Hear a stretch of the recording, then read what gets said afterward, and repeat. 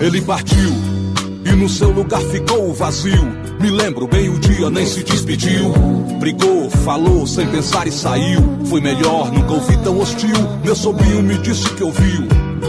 Ele perguntar, supletivo pra que serviu? Cinco anos desempregado, vivendo de bico. É mais triste que o pênalti perdido do Zico. Vou deixar essas ideias de lado.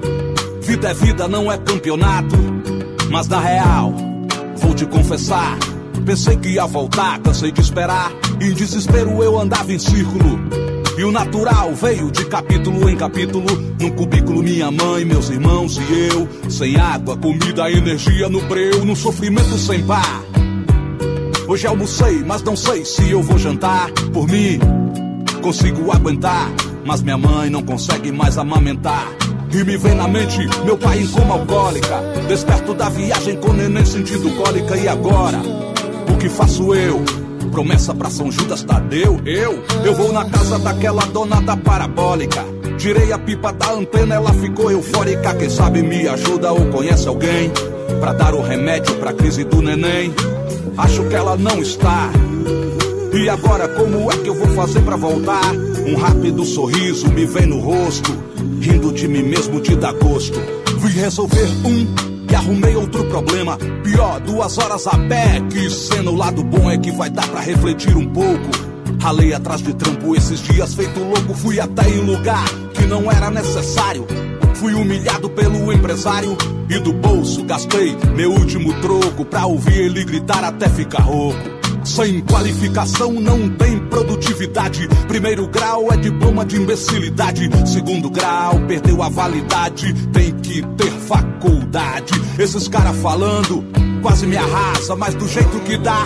Sustento minha casa, não sei por que não respondi na mesma tonalidade. Ninguém se qualifica sem primeira oportunidade. Que o requisito principal é honestidade. Que chegaria a qualidade que tenho necessidade. E esses caras financiado pelo pai chama segurança e grita sai.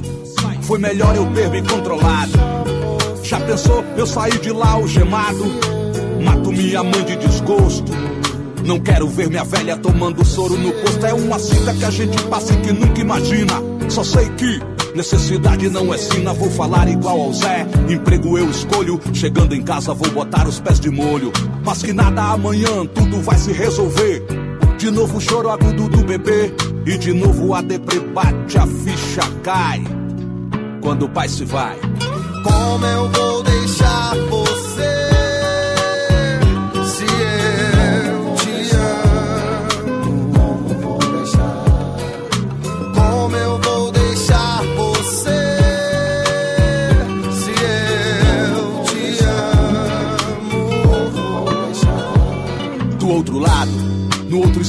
Cidade.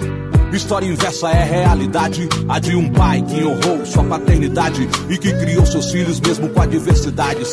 Tempestades não faltaram na sua vida. Quatro crianças pequenas perdeu a patroa querida. Colesterol elevado, pressão muito alta e na farmácia do SUS o remédio sempre em falta. Juntou-se a fome com a vontade de comer. Assistiu o filme que eu não queria ver. Heroicamente não se entregou à bebida, mantendo a cabeça sempre erguida. Enfrentou a saudade, o desemprego. Por seus quatro moleques tem um apego. Evitando o trágico, disse não ao tráfico. E no tráfego, trafegou testando seu ego. Calça suja, camisa furada e chinelo. Trabalhava do vermelho ao amarelo. Chocolates, frutas, água mineral. A senhora apavorada avançou o sinal. Sobe a bolsa de valores, vários pontos. Some a bolsa com os valores da madame e ela aos prantos. Todo dia uma batalha sem o fato gerador. Não se encerra essa guerra, oprimido e opressor. Sai de casa antes do sol raiar. Ninguém quer sair, ninguém escuta Final de semana pra ele era sagrado. Não ia pro farol, não lavava um carro, era dedicado à casa e aos filhos. Dever de casa, manter os moleques dos trilhos. Cada um tinha uma obrigação: levantar, dobrar cobertas, nada de lixo no chão. Ele se irritava profundamente com pai que faz filho e nega lá na frente. Com pai que não paga PA, com o argumento que a mãe irá gastar.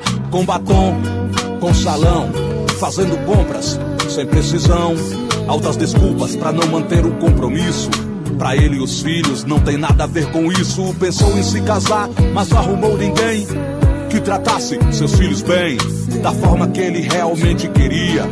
E fez um voto que viúvo continuaria. Acredita que a educação é necessária. Apresentou para eles a biblioteca comunitária, que ficava bem perto da sua moradia. Um lugar que sozinha a criançada ia. Não deixava ouvir rap, mas observador. Passou a prestar atenção nas letras e liberou. Dizia sempre que a leitura faz a pessoa mais inteligente com cultura. Foi vendo a criação dessas crianças que passei novamente a ter esperanças. Numa geração em que poucos acreditam e que muitos impiedosamente criticam. Isso me faz crer que o hip hop precisa dizer que muito pai faz por merecer.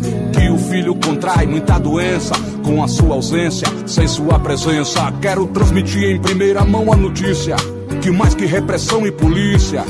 Toda geração precisa de incentivo se não cai. É triste ver quando o pai se vai. Como eu